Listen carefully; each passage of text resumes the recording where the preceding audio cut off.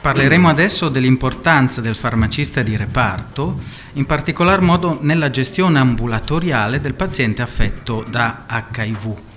Eh, parlerà quindi per noi di questo argomento la dottoressa Lucia Apolloni, farmacista, Policlinico Sant'Orsola Malpighi di Bologna. Buon pomeriggio a tutti. E sono Lucia Polloni, farmacista ospedaliera presso la farmacia clinica dell'azienda ospedaliera universitaria di Bologna, Policlinico Sant'Orsola Malpighi. Un eh, sentito ringraziamento all'organizzazione del GIMB per averci dato la possibilità di illustrare la nostra esperienza del farmacista di reparto coinvolto nella gestione ambulatoriale del paziente con infezione d'HIV, esperienza avviata da febbraio del 2012 presso l'unità operativa di malattie infettive.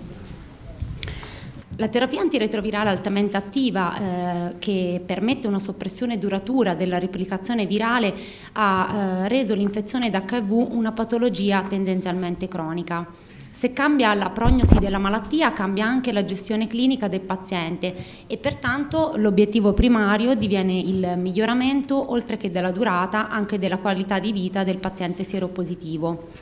Dal grafico è possibile vedere come l'avvento dell'ART abbia portato a una significativa diminuzione della mortalità a causa dell'ADS un, e un aumento della sopravvivenza dei pazienti affetti da HIV.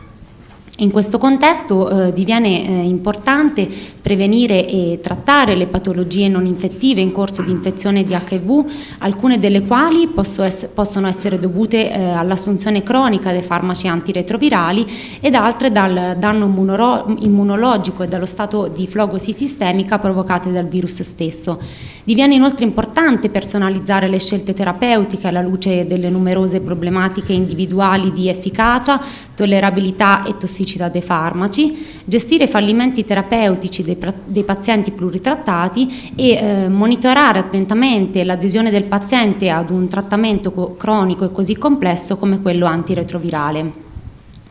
Il farmacista clinico si inserisce pertanto in un sistema assistenziale multidisciplinare rivolto alla cura del paziente eh, con infezione d'HIV. In che modo? Affiancando i clinici nella gestione della ART e delle eventuali eh, patologie concomitanti, eh, condividendo percorsi assistenziali e supportando le scelte terapeutiche dei medici. L'attenzione del farmacista si sposta dal farmaco al singolo paziente e il momento dell'erogazione mensile della terapia diviene un momento importante per informare i pazienti eh, sulle modalità di assunzione e conservazione dei farmaci, sulle possibili interazioni farmaco-farmaco e farmaco-cibo. Diviene un momento inoltre importante per monitorare eh, l'aderenza alla ART indispensabile per il successo farmacologico, per gestire le eventuali segnalazioni di reazioni avverse importanti per accrescere accrescere il grado di conoscenza dei farmaci e gestire il farmaco dall'approvvigionamento fino alla distribuzione, onde evitare sprechi e usi inappropriati con lo scopo di controllare e contenere la spesa farmaceutica.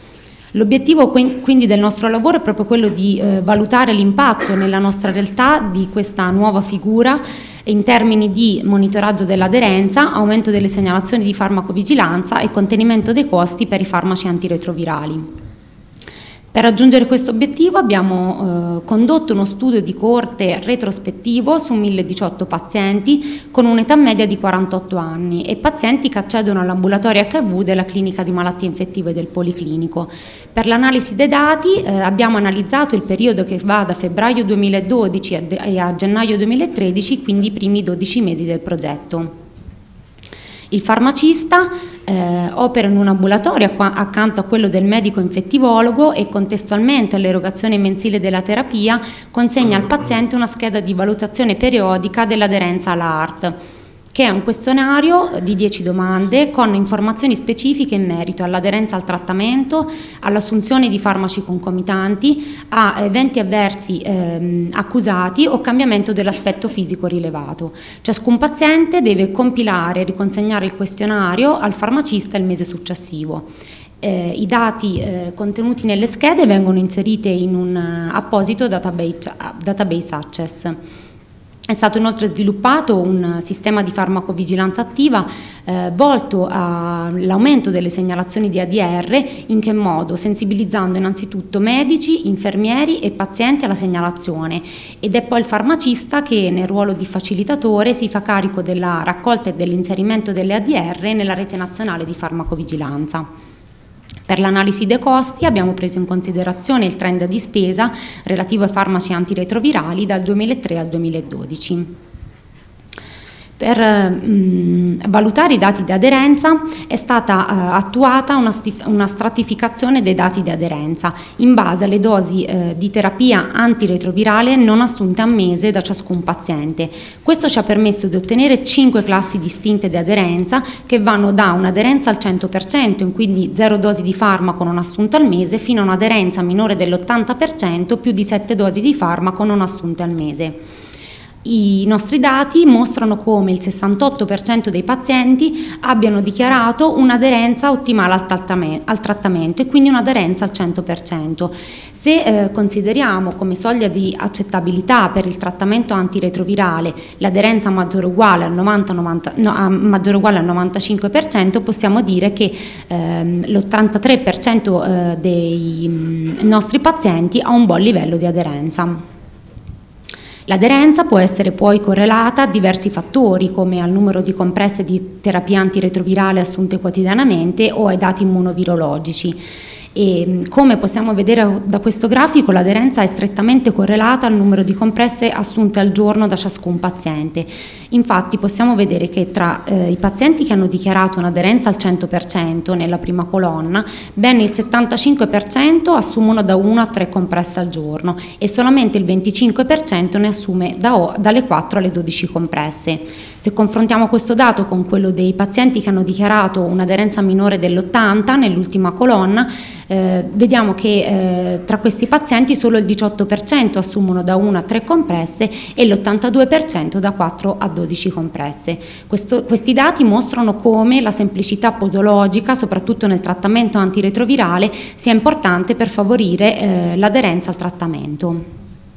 Siamo andati poi a valutare e a vedere in che modo l'efficacia terapeutica possa essere influenzata dall'aderenza.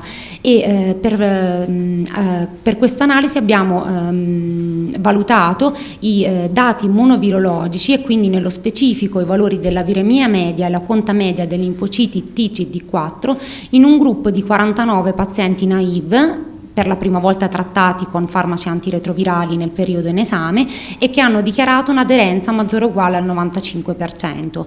I dati immunovirologici sono stati analizzati in due tempi di distinti, al tempo zero all'inizio del trattamento e dopo tre mesi di trattamento. Dai grafici si vede chiaramente come un'elevata aderenza si associa a una elevata efficacia terapeutica e che si traduce in una netta diminuzione della viremia e in un aumento della quanta media dei linfociti TCD4 a distanza di pochi mesi dall'inizio del trattamento. Per quanto riguarda le segnalazioni di reazioni avverse, eh, nel periodo in esame sono state inserite nella rete nazionale di farmacovigilanza ben 26 segnalazioni eh, provenienti dall'ambulatorio HIV eh, con un aumento del 92% ehm, rispetto allo stesso periodo dell'anno precedente. Il 69% delle segnalazioni sono state inviate direttamente dai medici e questo dato indica una buona sensibilizzazione, il 31% dal farmacista, dato che indica come il momento dell'erogazione l'erogazione della terapia non si limiti alla, alla sola erogazione, ma sia un momento eh, importante di scambio di informazioni eh, con il paziente in merito eh, all'andamento del trattamento. È compito del farmacista anche quello di monitorare l'esito clinico eh, delle reazioni avverse segnalate e ad oggi eh, per, le nostre, per, le nostre, reazioni avverse abbiamo avuto un 46, per il 46% un miglioramento e il 12% una risoluzione completa il 77% delle reazioni eh, avverse non sono state gravi, ma il 23% sono state delle reazioni gravi, l'8% delle quali ha messo addirittura in pericolo di vita il paziente. Le reazioni gravi hanno riguardato ehm, principalmente disturbi neurologici, disturbi gastrointestinali e reazioni della cute.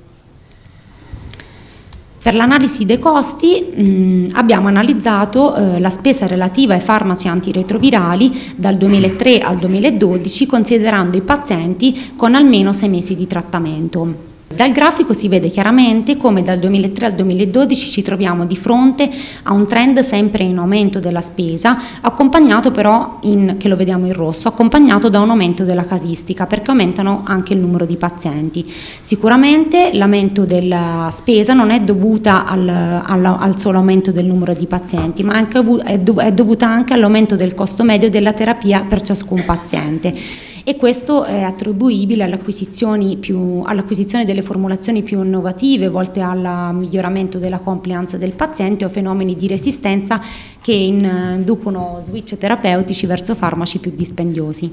Nonostante ciò, se ci soffermiamo nel dato del 2012 e lo confrontiamo con quello dell'anno precedente, ci troviamo di, di, fronte a un'inversione del trend di spesa e questo può essere attribuibile a una migliore gestione della risorsa farmaco da parte del farmacista. Quindi il farmacista clinico di reparto possiamo dire che ha contribuito al monitoraggio dell'aderenza e monitorare l'aderenza ci permette di, poterci, di poter individuare i pazienti meno aderenti e di poterci concentrare in futuro proprio su questi pazienti con interventi ad hoc e personalizzati, ma, anche, eh, ma ci ha permesso anche di eh, poter individuare fattori specifici che influenzano l'aderenza e per poter intervenire su questi fattori e migliorare l'aderenza di tutti i pazienti. Rispetto al 2011 la figura del farmacista ha portato a un incremento del 92% delle segnalazioni di ADR e a un'inversione del 5% del costo medio paziente calcolato su 12 mesi di trattamento. I limiti del nostro lavoro, sicuramente valutare l'aderenza attraverso un questionario che viene compilato direttamente dal paziente porta eh, a basarci su ciò che ha dichiarato il paziente. Il metodo potrebbe mancare di oggettività e l'aderenza potrebbe essere sovrastimata. Per quanto riguarda le segnalazioni di ADR, eh, malgrado l'aumento del numero delle segnalazioni, il fenomeno della sottosegnalazione permane e pone un problema di valutazione reale della sicurezza dei trattamenti. Infine, per quanto riguarda i costi, sono stati analizzati solamente i costi diretti della ART senza considerare quelli per le terapie concomitanti, i test diagnostici e gli eventuali episodi di ricovero. In conclusione, la gestione di pazienti con terapie complesse ad alto costo richiede interventi multidisciplinari e il nostro studio eh, eh, dimostra che il farmacista clinico nell'ambito di questa specifica patologia può migliorare la responsabilizzazione del paziente, il controllo degli eventi avversi e il governo della distribuzione dei farmaci e della spesa correlata. Tutto ciò porta sicuramente a una diminuzione del tempo necessario per la visita medica e a una conseguente riduzione delle liste d'attesa anche per i pazienti. Ringrazio voi tutti per l'attenzione e ciascun componente del gruppo di lavoro per il prezioso contributo. Bene, grazie per questa interessantissima relazione, per tutte le ricadute ovviamente ad essa correlate. Ci sono domande? C'è un tempo di una o due domande velocissime da parte della platea altrimenti ne ho una io e cioè semplicemente quale sarà il prossimo step, cioè cosa vi proponete di fare per ridurre per esempio l'underreporting e come implementare eh, ciò che avete rilevato più, in un contesto più ampio? Allora sicuramente ehm, eh, sarà utile continuare a, il monitoraggio eh, dell'aderenza e sarà utile continuare sensibil la sensibilizzazione dei medici e degli infermieri e dei pazienti stessi eh, per ehm, eh, aumentare appunto proprio la rilevazione degli eventi avversi e sarà utile continuare a gestire razionalmente la risorsa farmaco. Sicuramente potrebbe essere un buon obiettivo se riuscissimo anche a formare un paziente, cioè a rendere il paziente eh, consapevole del trattamento eh, e quindi responsabile del trattamento in termini di aderenza e un paziente sensibile alle reazioni avverse e quindi disposto anche a, mm, cioè ad esprimere i propri problemi e anche un paziente consapevole dell'importanza della risorsa farmaco che assume giornalmente. Bene, grazie.